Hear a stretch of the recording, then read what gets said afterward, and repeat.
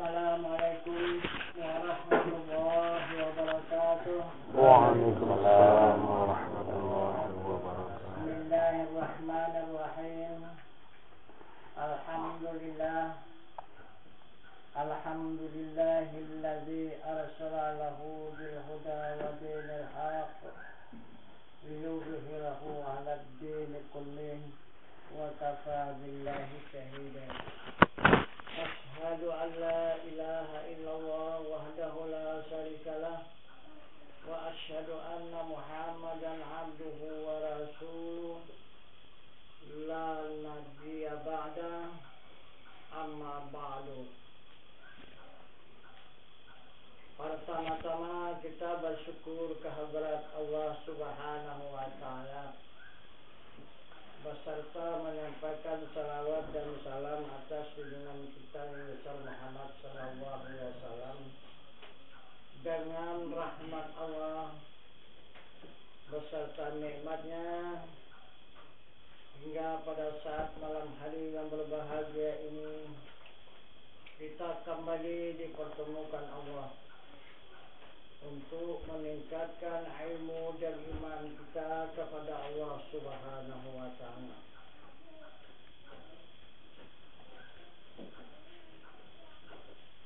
Yang mana Allah Subhanahu wa taala memberikan petunjuk kepada sekalian hambanya dengan petunjuknya yang berbunyi Inna salata kanat alal mu'minina kitaban mawquta. Jadi kata Allah salat kewajiban tanda orang yang beriman diberikan fardu berwaktu-waktu. Jadi inilah salat yang lima waktu.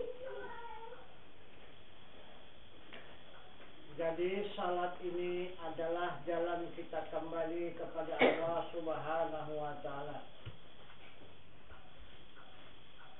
Pelajaran kita yang telah lalu adalah jalan kembali kita kepada Allah melewati amal. Ini adalah melewati jalan ibadah.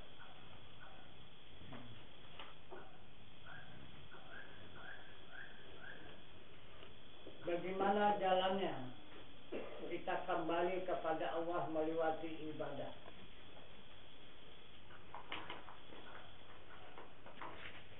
Maka di dalam kita menegakkan salat yang lima waktu ini adalah berdiri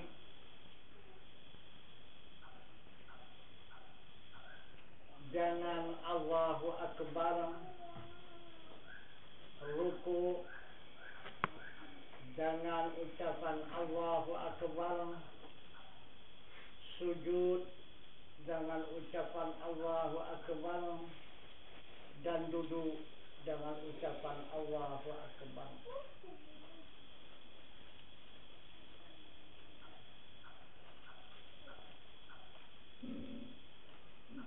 Siapakah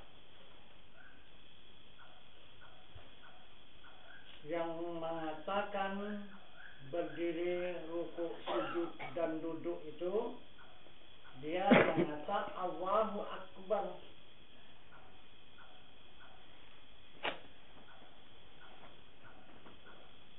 Itu adalah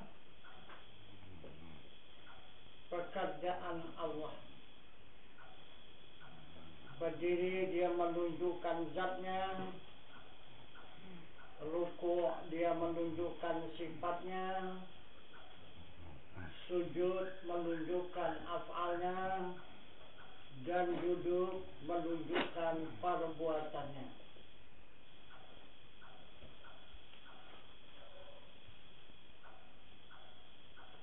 Jadi afal ini kembali kepada asma. Dan asma ini kembali kepada sifat dan sifat baru menghadap kepada zat. maka dikatakannya salat yang lima waktu ini adalah tanda iman yang diwajibkan berwaktu-waktu. Ini dengan perjalanan syariat dengan perbuatan yang zahir itu yang dikatakan syariat. Yang dimaksud dengan syarat syariat. Jadi kenyataannya yang melakukan itu adalah tubuh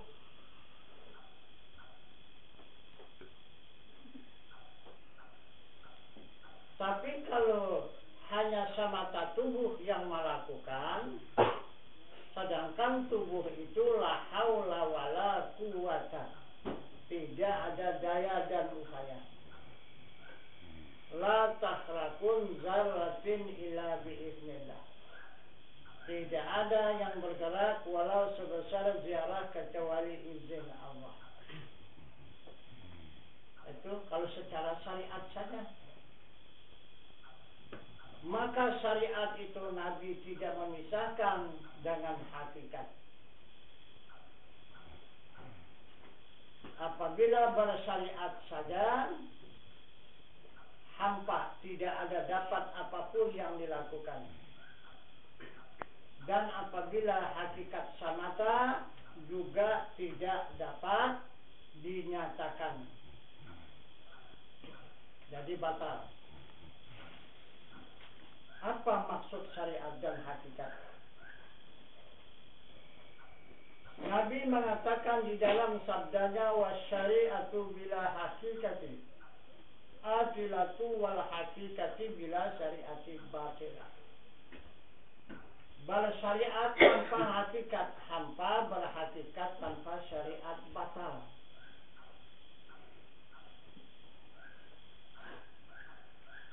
Berapa ribu tahun Rasul beserta umatnya tidak ada melakukan syariat. Hanya samata hakikat dari mulai Adam alaihi salam sampai kepada Nabi Isa alaihi salam. Tidak ada syariat hanya hakikat dan secara batin saja. Kenyataan zahir itu tidak ada. Ke mana tujuan hakikat itu? Tujuan hakikat itu adalah Nabi kita Muhammad Sallallahu Alaihi belum diturunkan ke dunia. Itu maka semua Rasul beserta umat hanya mengenal, memandang dan mengingat samata kepada Muhammad yang belum ditunjukkan Allah di muka bumi ini. Itu maka tidak bisa ditunjukkan. Karena Tuhan pun baru mempertunjukkan. Maka di situ hanya yang berlaku pengenalan dengan secara hakikat.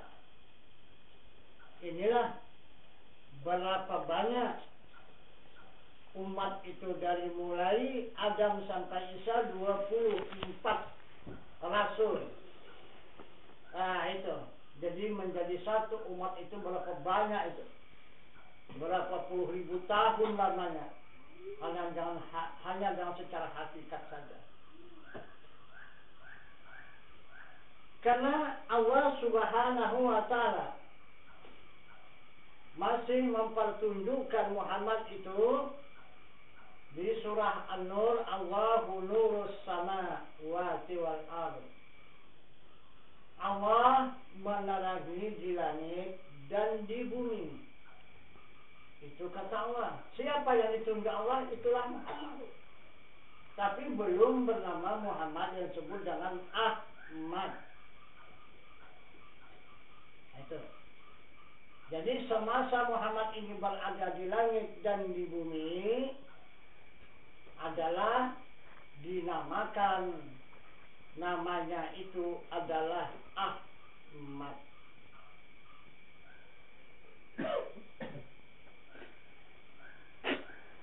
Kemudian sampailah ke Rasul ke-25. Maka turunlah Muhammad ini. Dinyatakanlah Muhammad ini di muka bumi ini. Yang beberapa puluh ribu tahun yang dikenal oleh Muhammad hanya dengan hakikat.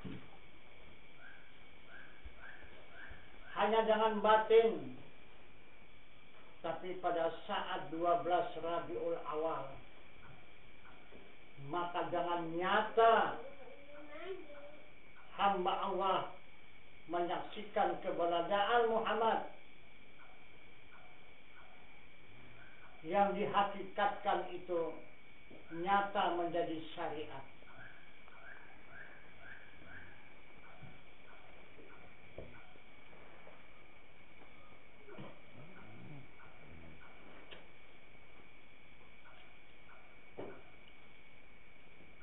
Berapa lama?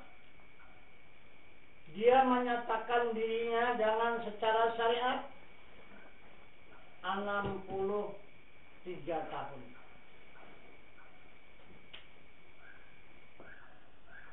Dia menyatakan dengan secara syariat dengan nyata. Itu pun al-a'ladul basyariah berperangai mereka itu Rasul sebagai perangai manusia tapi bukan manusia. Seperti sakit, makan, minum, tidur, lapar, lelah, dahaga, berbangsa, bersuku, berketurunan hanya harus karena dia memberikan suri tawadan kepada hamba-hamba Allah yang mempunyai tubuh yang kasar. Jadi dia menyerupa seperti tubuh yang kasar. Tapi walaupun dia menyerupa, tapi tidak sama. Dia hanya harus. Nah, jadi sekalian hamba Allah yang ada itu wajib.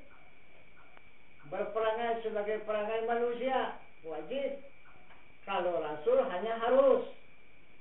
Boleh jadi, boleh tidak.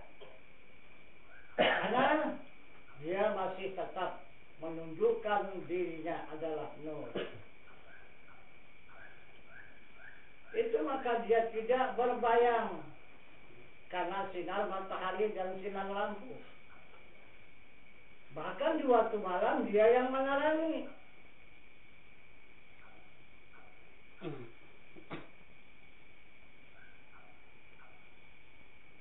Kalau sebelum dia ditutup wujudnya itu semesta alam ini tidak ada yang bisa berbuat.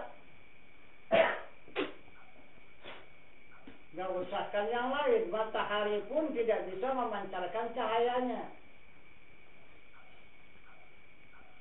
Karena matahari hanya memiliki cahaya.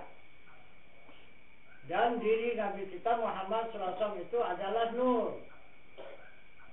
Nah itu, yang menjadikan cahaya itu mana bisa terang cahaya itu kalau dia berbalik menghadap kepada nur.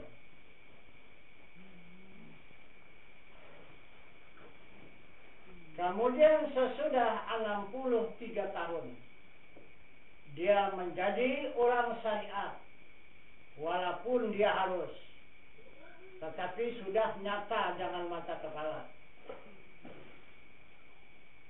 Kemudian dia dikembalikan oleh Allah kepada asalnya kembali.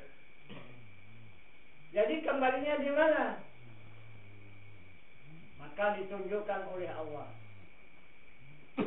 Tidak lagi dikatakannya menarangi di langit dan di bumi, tetapi Allah mempertunjukkan, memperkenalkan keberadaan Nabi kita Muhammad sallallahu alaihi wasallam wa ma arsalnaka illa rahmatan lil alamin Tidak aku utus engkau wahai Muhammad hanya menjadi rahmat semesta alam. Nah, jadi Muhammad ini sebelum lahir itu adalah Ahmad. Sesudah lahir ke dunia ini maka dia bernama Muhammad. Sesudah dia dewasa dikatakan Al-Amin. Dan sesudah dia menjadi pemimpin dikatakan Mahmud yaitu Talpuji sekarang ini adalah menjadi rahmat semesta alam. Inilah keberadaan Nabi kita Muhammad sallallahu alaihi wasallam asalnya dia dari alam hakikat maka menyatakan dirinya menjadi alam syariat dan kembali dia menjadi orang hakikat.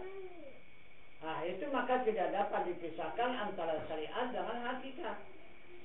Karena sudah dia menjadi syariat. Kembali ke hakikat. Jadi tidak bisa dipisahkan antara syariat dengan hakikat, antara zahirnya dengan batinnya. Nah, jadi zahirnya itu syariat, dan batinnya sekarang ini adalah hakikat. Jadi adalah keberadaan Nabi kita Muhammad SAW pada sekarang ini adalah menjadi batin seluruh semesta alam. Nah itu. Jadi orang yang tidak mempunyai ilmu hakikat itu orang yang tidak ada hubungan dengan Muhammad Rasulullah itu orang yang putus hubungan dengan Muhammad Rasulullah dan dengan diri Allah Subhanahu wa taala. Itu orang yang tidak berhakikat. Itu putus hubungan. Cuma hanya pengakuan lidah. Dia mengaku ada Allah, ada Muhammad, tapi batinnya dia tidak mengakui adanya Allah dan adanya Muhammad.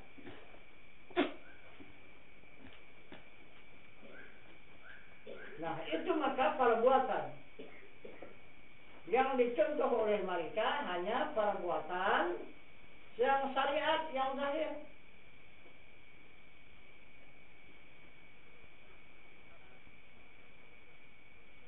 Jadi hakikat mereka tidak mau mengakui.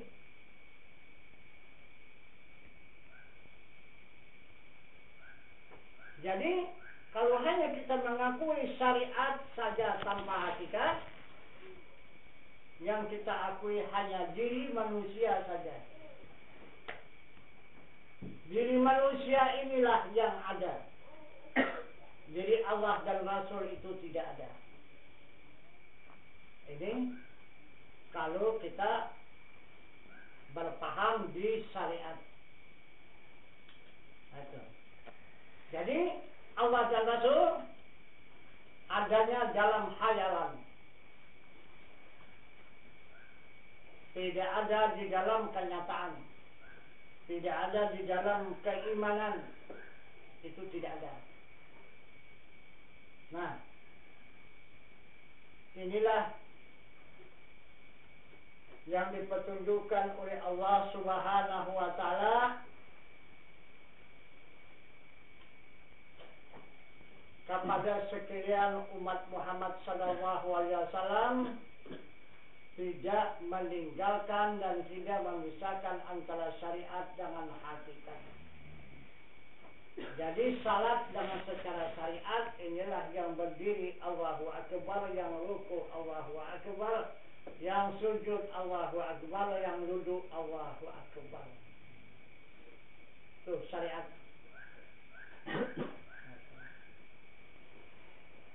Jadi apa isinya? Yang berdiri Allahu Akbar itu isinya apa? Yang ruku itu mengata Allahu Akbar isinya apa? Dan yang sujud itu mengata Allahu Akbar isinya apa? Dan yang duduk itu mengata Allahu Akbar isinya itu apa?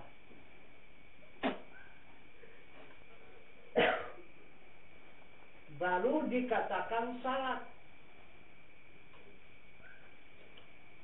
Kalau tidak, kata Allah itu perbuatan orang mabuk. Berdiri Allahu Akbar, ruku Allahu Akbar, sujud Allahu Akbar, duduk Allahu Akbar. Itu orang mabuk. Itu orang yang tidak sadar. Itu kata Allah. Nah, jadi yang dimaksud salat yang mengata Allahu Akbar di waktu berdiri itu tujuannya apa? Ini baru tidak mabuk. Jika tahu tujuannya, maka tidaklah dikatakan Allah orang yang mabuk. Jadi apa tujuannya? Sesuai dengan petunjuk Allah Subhanahu wa taala di dalam ayat suci Al-Quran wa aqimis salata li zikri. Tegakkan salat, ingat Ingat itulah dia tujuannya.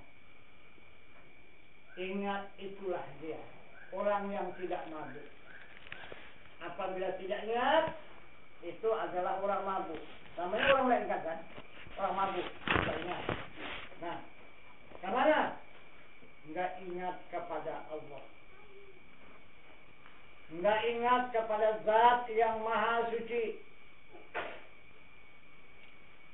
Itu adalah salat yang berdiri ruku, sujud dan duduk itu adalah kosong.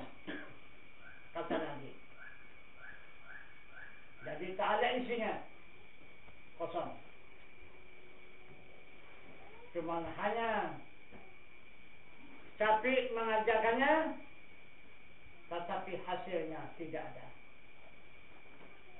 Nah itu. Jadi kalau dia berhasil, jika tahu dia tujuannya dan jika tahu dia isinya.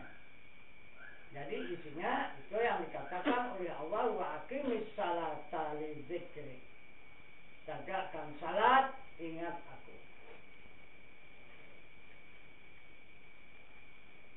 Itu jalan ibadah untuk kita kembali kepada Allah. Kemudian yang kedua, Allah mengatakan kepada hambanya, Inna salata tatanha anil fasa wal munkar. Salat mencegah perbuatan yang munkar. Yang mana salat yang mencegah perbuatan yang munkar? Bahkan di mana-mana saja orang yang berdakwah salat mencegah perbuatan yang munkar inilah salat yang lima waktu ini. Itu sudah bersalahan berat. Sudah menyimpang jauh daripada yang dimaksud oleh Allah. Sedangkan salat yang lima waktu yang syariat ini ada kemungkaran di dalamnya.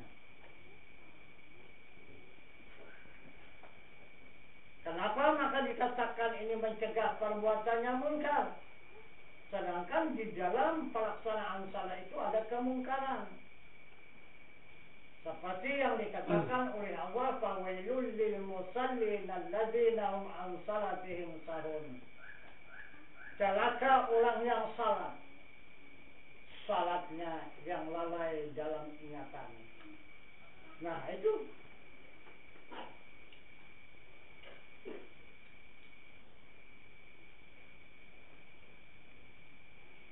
itu yang dilarang oleh Allah.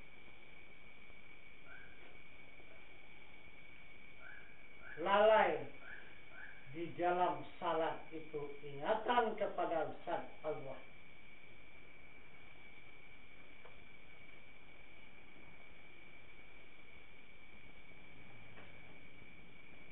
Karena Allah memanggil untuk menghadap.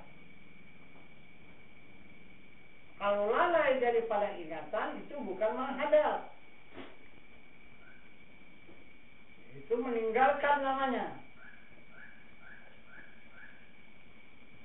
Jadi menghinakan kepada yang maha mulia dan yang maha kuasa dan yang maha pengasih dan yang maha penyayang itu yang dihinakan. Bahkan ditinggalkan. Sedangkan kalau kita menghadap kepada Allah yang dimaksud dengan panggilannya itu adalah di alam ma'rifat. Jadi ke alam ma'rifatlah kita menghadap. Tapi ini lalu kita meninggalkan alam ma'rifat. Maka kita menghadap kepada alam syariat. Berapa alam itu kita tinggalkan diri Allah itu? Apa tak ibaratnya? Nah, apa tak terjadi kemungkaran? Jadi yang dimaksud Allah mencegah perbuatan munkar ini bukan itu salahnya.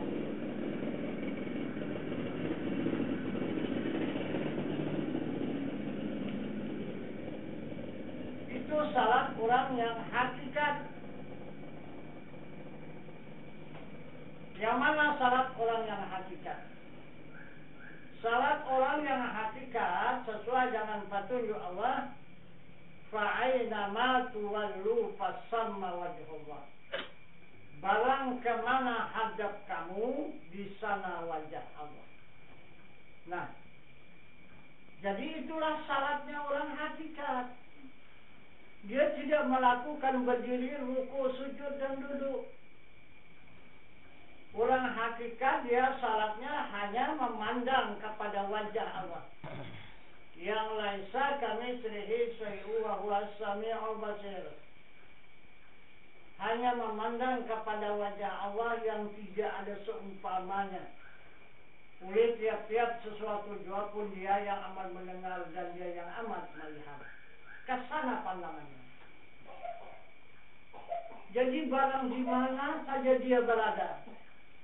Baik dia keadaan duduk, baik dia keadaan berdiri, baik dia keadaan berjalan, baik dia dalam keadaan berkata, baik dalam keadaan diam,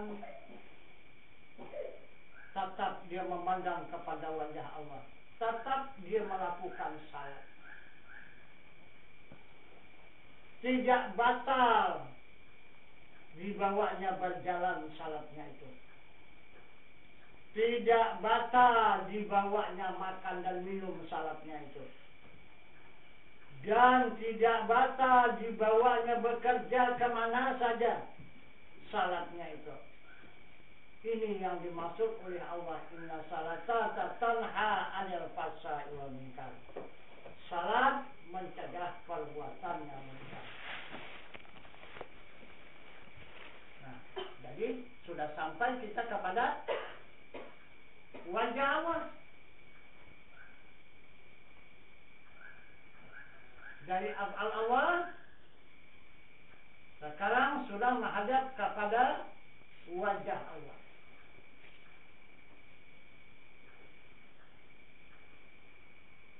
Kemudian baru yang ketiga yang dimaksud oleh Allah Subhanahu wa taala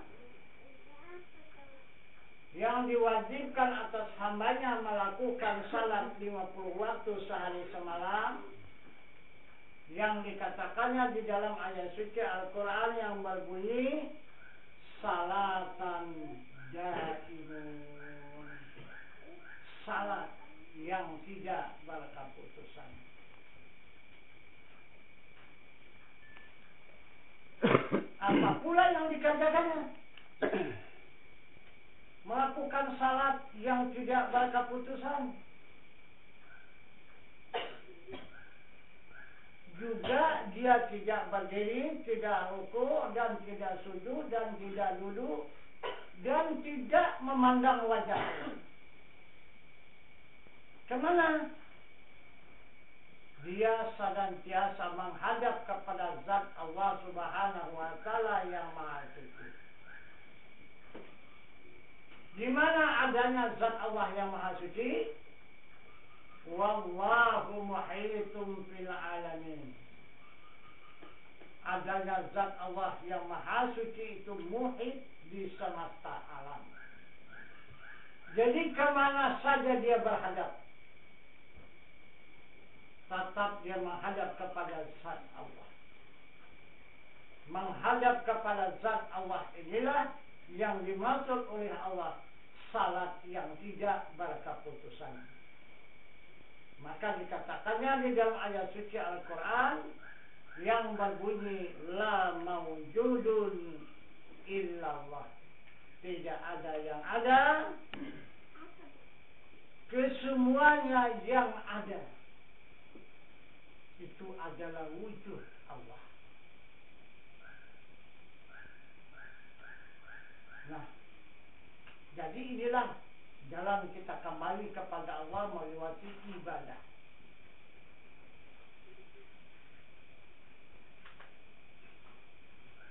Dari apa? Masuk dia langsung kepada wajah atau kepada sifat? Saya sudah sampai ke sifat. Otomatis dia akan menghadap kepada zat inilah perjalanan kita kembali kepada Allah melewati ibadah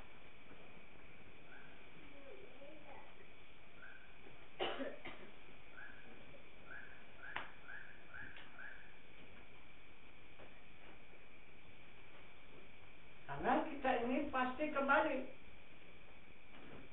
Jadi jalan kembali ini yang sudah ditetapkan oleh Allah pertama jalan ilmu, yang pertama, yang kedua jalan amal, dan yang ketiga ini dengan jalan ibadah. Jadi tiga jalan untuk kita kembali kepada Allah maka tidak ada yang disangsikan yang diragukan untuk kembali kepada Allah. Karena tiga jalan ini tidak ada yang tidak sampai. Semuanya yang tiga jalan ini sampai kepada zat Allah. Sampai mendapatkan keridaan Allah. Jadi apabila sampai kepada zatnya, maka berjumpa dengan keridaan. Jadi apabila tidak sampai kepada zatnya, maka tidaklah berjumpa dengan kedutaan. Nah, jadi itu maka zat Allah itu adalah rahasia semesta alam kemudian zat Allah yang rahasia itu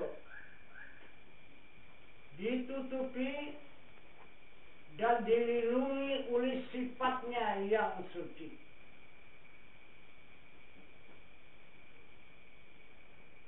Karena dia maha suci. Zat Allah yang rahasia itu maha suci.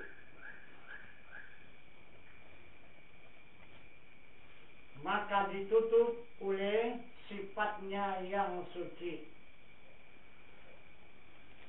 Kemudian sifatnya yang suci ini ditutup pula oleh asmanya yang maha besar.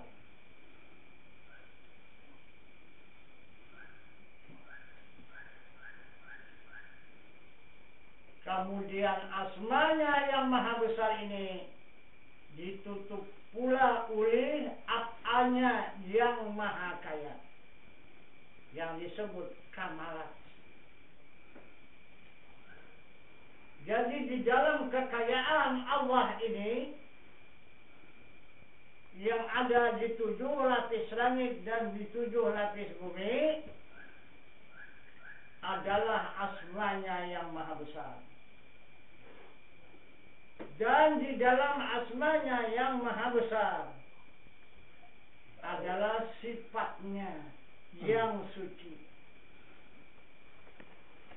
dan di dalam sifatnya yang suci maka itulah yang dimaksud dengan zatnya yang maha suci.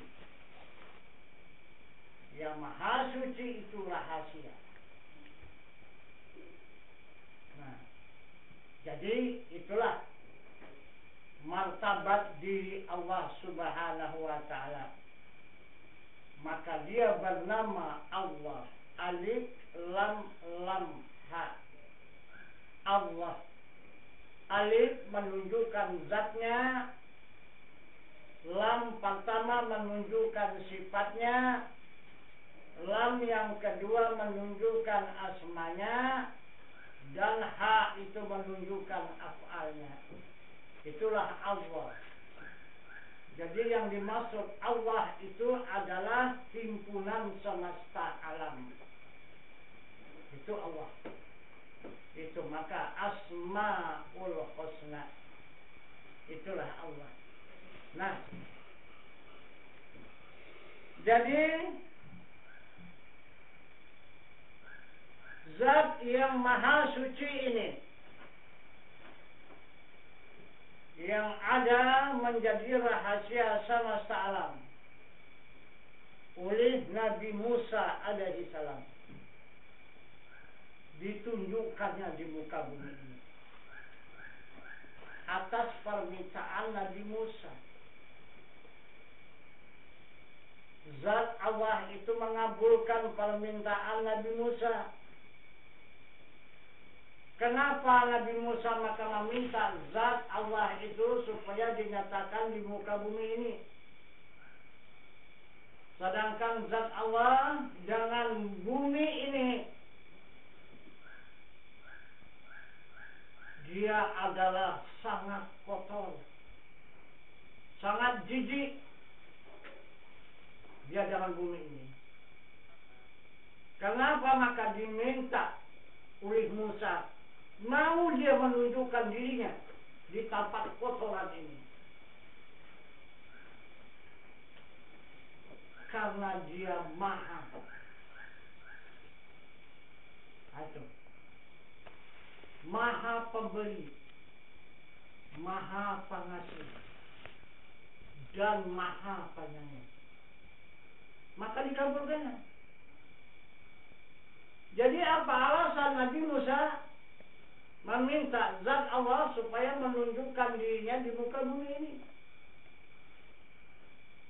Karena sekalian hamba Allah yang ada di muka bumi ini tidak percaya lagi kepada Rasul.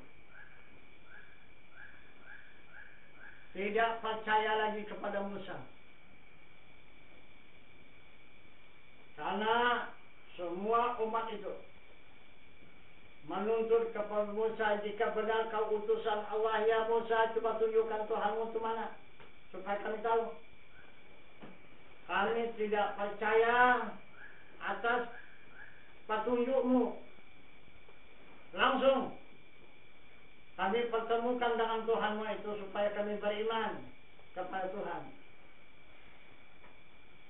Maka dari itulah Nabi Musa tidak ada henti-hentinya bermohon kepada zat Allah untuk menundukkan dirinya ke muka bumi ini. Sehingga turun Raja Malaikat supaya menghentikan permintaan Nabi Musa. Itulah malaikat Mukarrabin namanya. Apa kata malaikat Mukarrabin? Wahai Musa, hentikan permintaanmu itu. Kepada diri Tuhanmu. Coba kamu lihat, aku ini adalah Raja Malaikat. Coba kamu pandang, rupaku ini bagaimana? Mukanya empat, matanya delapan. Itu pun tidak bisa mataku yang lapan ini melihat diri Tuhan itu. Apalagi kalian? Apalah kekuatan kalian? Apalah kekuasaan kalian? Mata kalian saja hanya tinggal dua. Saya delapan mata. Udah, hentikan. Apa kata Musa? Eh, Raja malaikat tugas apa? Ya memimpin malaikat. Lah, Laksanakan tugasmu. Jangan kamu campur tangan sini. Ini hakku, ini tugasku. Pulang. Tak bisa apa-apa Raja Malaikat. Nah, akhirnya Tuhan mempertunjukkan dirinya dengan satu detik saja. Stop. Hadis semua jadi. Jadi alam semua gulung-gulung itu dan umat Musa semua sama Nabi Musa yang menjadi abu. Maka Allah memerintahkan kepada Jibril di tempat kembali Nabi Musa itu. Dihidupkan kembali. Maka hiduplah Musa. Sesudah hidup Musa dilihatnya, umatnya semua jadi abu.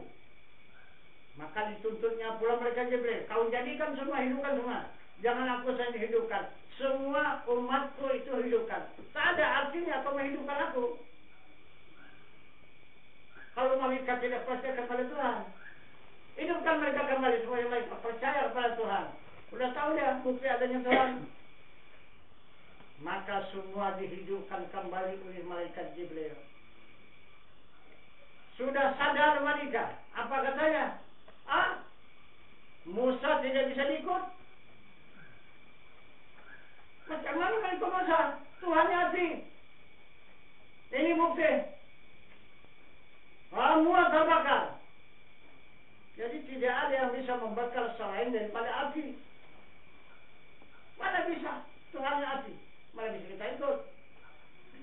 Nah, maka semuanya ingkar tidak ada yang beriman. Usahakan bertambah iman satu orang pun tidak ada lagi tinggal yang beriman. Habis semua. Engkar semuanya. Nah, itulah yang sudah terjadi sunnah terhadap kepada diri Rasul yang dipetunjukkan oleh Allah Subhanahu wa taala kepada setiap hambanya.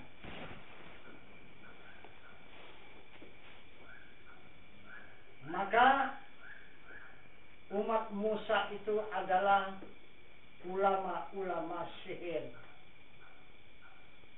Itulah bekas pasukan Raja Fir'aun untuk menghadapi musuh-musuh yang mengancam Fir'aun itulah dia ulama-ulama sihir yang diselamatkan oleh Nabi Musa itu tapi tidak bisa diselamatkan oleh Musa. Sudah diselamatkannya daripada penjara tahanan Raja Fir'aun diseberangkannya melewati lautan sampai ke seberang diberikannya makanan dan minuman karena sudah kelaparan di mana mendapat makanan dan minuman adalah di batu Nah itu maka dikatakan oleh Allah dan Al-Quran Fanfajarat min husnata asrata aina Kullu unasim masrabahum Waskulu mirzikillah Nah itu. Jadi disebat oleh Musa dengan tungkatnya batu yang besar itu Maka memancar delapan mata air. Jadi kata Nabi Musa Minumlah dan makanlah kan sepuasnya Itu rezeki dari Allah. Itu kata Musa selamat daripada kehausan dan kelaparan kepada menyeberang lautan. Nah, juga tetap tidak beriman. Begitulah jejilnya umat. Coba kurang apa Rasul untuk menyelamatkan tapi tidak mau diselamatkan. Akhirnya itulah dia permintaan yang meminta Tuhan supaya diwujudkan di muka bumi ini. Maka terjadilah kehancuran. Nah, jadi kemudian maka Nabi Musa pun mengembalikan uh, tugasnya kepada Allah Subhanahu wa taala karena dia tidak mampu menjalankan tugas kerasulan itu. Karena tidak ada orang mempercayai dia lagi. Jadi pada saat sekarang ini timbul kembali. Sekarang ini banyak kita mungkin yang belum sadar bahasa kita ini sudah masuk di zaman Nabi Musa kembali. Kita berada sekarang ini di zaman Nabi Musa. Nah itu. Karena Nabi kita Muhammad Shallallahu Alaihi Wasallam menjamin sampai 1400 tahun. Sesudah hijrah Nabi kita Muhammad SAW dijaminnya dunia ini terkembang 1400 tahun. Sekarang sudah berjumlah 1431 tahun. Jadi 31 tahun sudah melewati batas dari Nabi kita Muhammad SAW. Nah, maka ini masuk kepada zaman Nabi Musa. Nah, itu. Zaman Nabi Musa, maka timbullah sekarang ulama-ulama sihir, dan timbullah sekarang kekuasaan yang luar biasa. Itu yang mewarisi daripada Raja Fir'aun. Akan timbul kembali. Nah, maka dari itu diri Allah Subhanahu wa taala akan menundukkan dirinya. Zaman Nabi Musa baru hanya menghancurkan satu gunung. Itulah Bukit Tursina. Nah, tapi pada saat sekarang ini bukan lagi satu gunung. Mungkin hampir semua marata gunung nanti akan terbalik dan akan musnah. Siapa yang musnahkannya? Zat Allah subhanahu wa ta'ala. Yang mana zat Allah? Coba lihat. Lahar sekarang yang keluar di Marapi itu. Siapa itu? Sekarang kalau di puncaknya itu sudah sekarang mencapai 2000 derajat kepanasannya yang keluar ini ada yang 800, ada yang 700, ada yang 600 derajat. Sedangkan panas api kalau sudah kita bakar air itu sudah menggelagar cuma hanya 100 derajat. Itu pun tak tahan tubuh manusia lunyot. Yang 100 derajat. Ini apa sanggup kita menghadapi 2000 derajat itu? Dan kemudian siapa yang bisa mencegah itu? Ada? Ada dukun? Ada paranormal? Ada para kiai? Sekarang ini yang sanggup mencegah itu? Ada? Tidak ada. Ini kenapa? Selama ini maka tidak meledak. Itu gunung-gunung yang membahayakan itu adalah dikawal oleh para wali Allah. Itu maka di gunung-gunung di gua-gua itu ada para wali Allah. Itu maka dia dilindungi oleh para wali Allah. Tidak ada mengamuk melihat kemurkaan hamba Allah yang ada di muka bumi ini. Ini para, para, para wali Allah sudah cabut semua. Tidak ada lagi. Nah itu. Nah. Ini. Bakal main zat itu sendiri. Karena tidak ada yang mendamaikan lagi, tidak ada yang mendinginkan lagi, tidak ada yang melindungi dia lagi, maka dia akan main dengan sendirinya.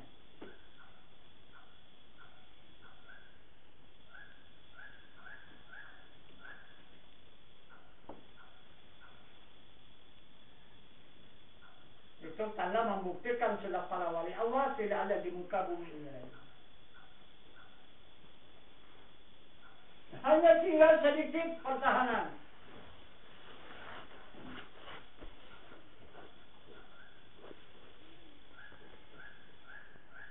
Yang mana ulama? Itu. Tinggal hanya ulama.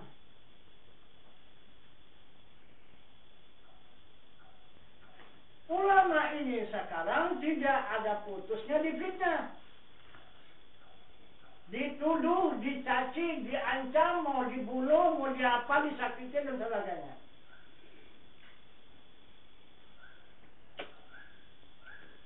Itulah sekarang pekerjaan dan akal umat manusia pada zaman sekarang.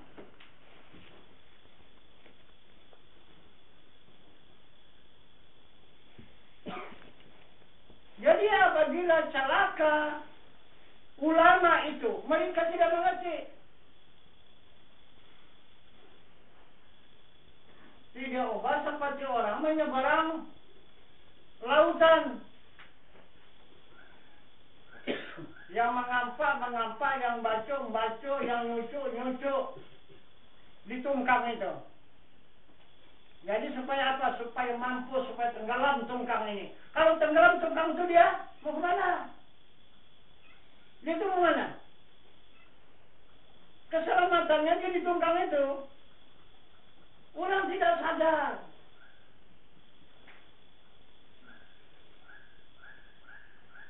Dan ada juga yang satu iktibar lagi. Itu dari alam, dari jamani. Itu pohon banalu yang ada di pohon. Dia makin subur, makin subur, makin subur, makin subur dia. Nah itu, semakin layu pohon yang di tempat dia apa itu, wah dia semakin bangga. Mati pohon tadi macam mana? Apakah dia hidup subur? Tidak, ya masih juga.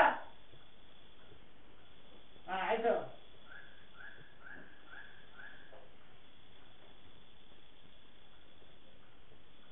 Jadi tidak ada pertahanan bumi dengan langit kecuali Rasul. Rasul itu aulia. Aulia itu ulama. Memang pada syariatnya dia tak dulu serupa dengan Rasul itu. Dia adanya di Mekah ke Madinah. Padahal di mana perjalanan dia? Di langit dan di bumi. Serupa kekuasaan Aulia seperti itu juga. Dia berkuasa di langit dan di bumi.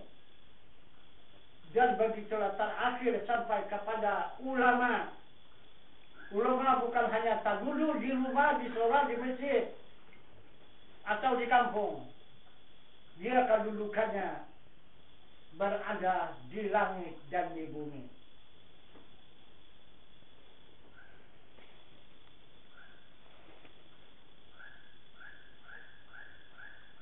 Tapi banyak yang tidak mengenal, yang tidak mengetahui. Orang langit ada di bumi, Nah, itu yang diiktibarkan apa namanya itu?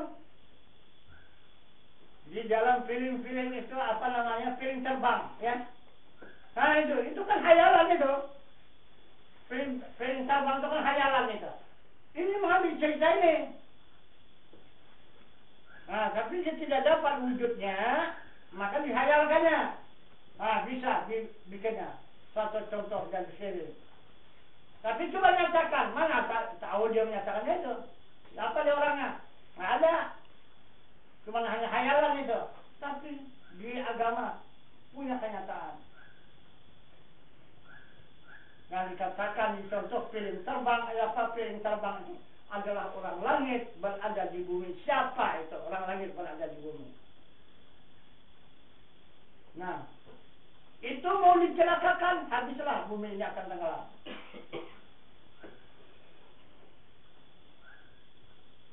Karena dia bertautnya antara langit dengan bumi karena ada orang itu. Nah itu itu yang dikatakan oleh Allah di surat An-Nur ayat 1 tadi yang berbunyi Allah nur sama wa wal al. Allah menerangi di langit dan di bumi.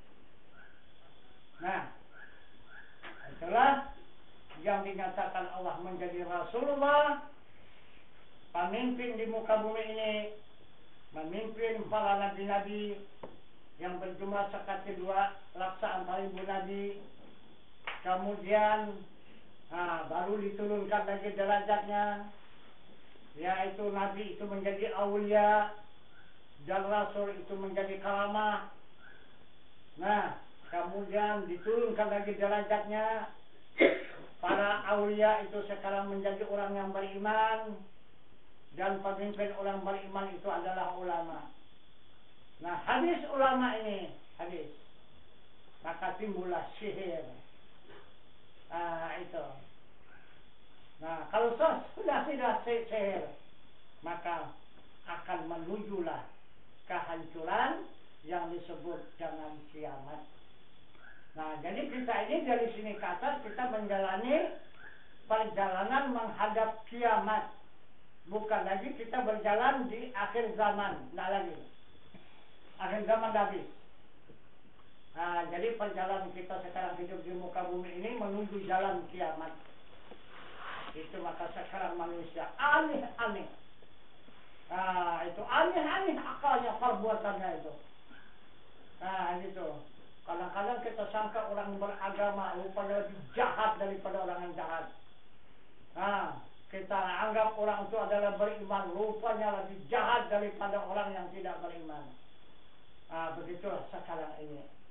Nah, jadi inilah tambah pengajian kita pada malam ini untuk menambah ilmu dan iman kita kepada Allah Subhanahu wa taala dengan jalan kita menggali dan mengulangi kembali perjalanan kembali kepada Allah Subhanahu wa taala mulai ibadah. Ya, mudah-mudahan kita akan mendapatkan jalan keselamatan dan kebahagiaan kepada Allah. Karena tiga jalan sudah dapat kita berangsur-angsur untuk menjalani. Pertama jalan ilmu, kedua jalan amal, dan ketiga jalan ibadah. Nah, saya rasa jalan lain sudah tidak ada lagi itu. Hanya tiga itu jalan untuk kepada Allah. Nah, jadi kita lanjutkan kembali uh, pelajaran pada malam ini untuk usuludinya. Jadi mukadimah kita padakan sampai di sini. Kita akhiri wabillahi taufiq wal hidayah. Assalamualaikum warahmatullahi wabarakatuh. Waalaikumsalam warahmatullahi wabarakatuh.